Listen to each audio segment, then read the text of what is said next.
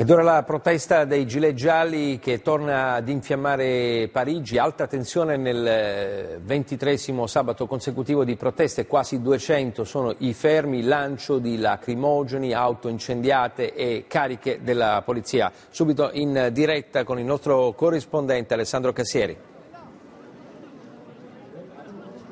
Sì, è stata un'altra giornata di guerriglia, si temeva, anche se si sperava che all'indomani della catastrofica vicenda del, di Notre Dame, l'incendio di Notre Dame, l'idea di eh, dare luogo a una tregua potesse eh, sopravvivere. Invece non è stato così, si è cercato in tutti i modi di rendere questa giornata molto molto complicata sotto il profilo dell'ordine pubblico. Ricordavi tu quello che è successo nel corso delle prime ore del corteo con incendi, assalti ai negozi e una serie di eh, diversivi aggressivi da parte di forze eh, organizzate da parte dei gilet gialli che sono state assolutamente represse in maniera eh, come dire, limitata da parte della polizia che ha, che ha potuto eh, svolgere qualcosa come 20.000 controlli preventivi soltanto a Parigi, 140 gli arresti e tutto questo però non è bastato a rendere la giornata eh, più eh, tranquilla, andrà avanti ancora per qualche ora ma la dispersione su questa piazza della Repubblica è stata il, l'epicentro della giornata di oggi, degli scontri,